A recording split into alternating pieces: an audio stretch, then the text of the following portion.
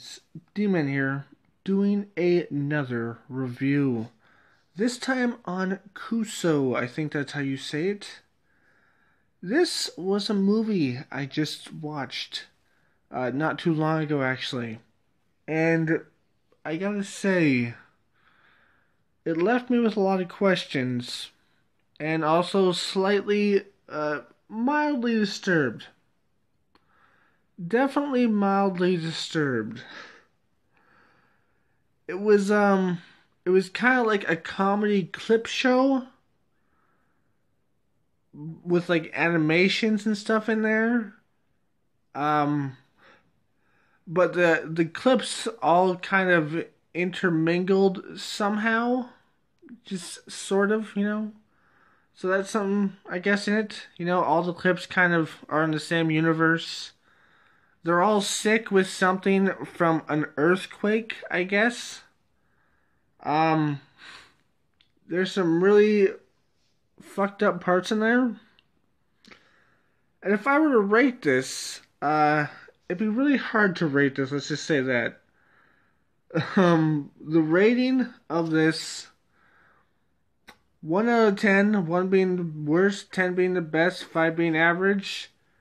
I'm gonna give it a rating I've never given anything, and that is a what the fuck, a WTF.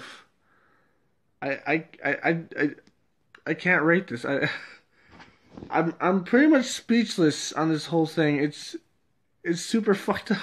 Like who the fuck made this?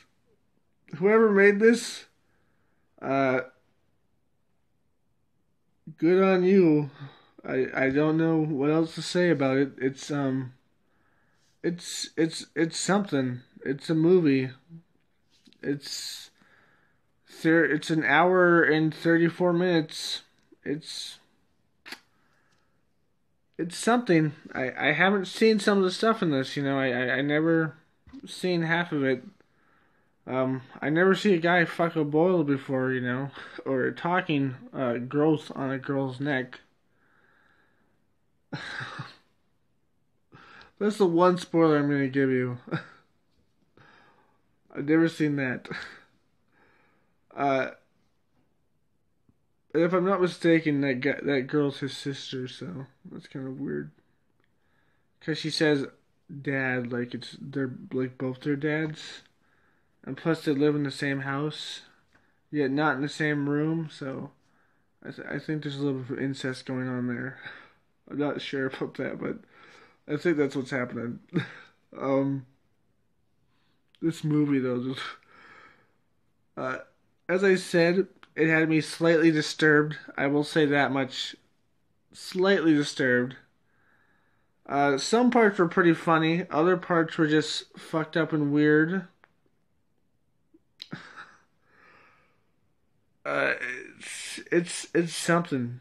If you're I would suggest watching this if you're older because this is not a movie for kids. Uh, and if you are the right age and you can handle some disturbing content, I would suggest watching this. It it's it kind of reminds me of YouTube videos, but put together more welly.